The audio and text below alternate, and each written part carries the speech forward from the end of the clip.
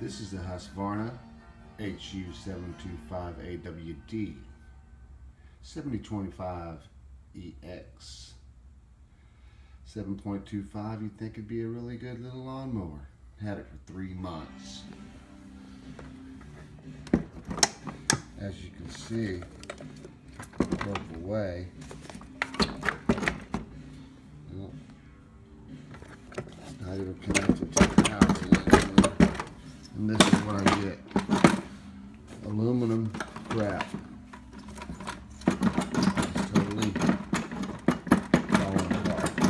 months. And Lowe's doesn't want to honor the the warranty on it. So I'm gonna go down to my local pawn shop and buy me a brand new used lawnmower that I know is going to work. I would never ever buy this name brand. Ever.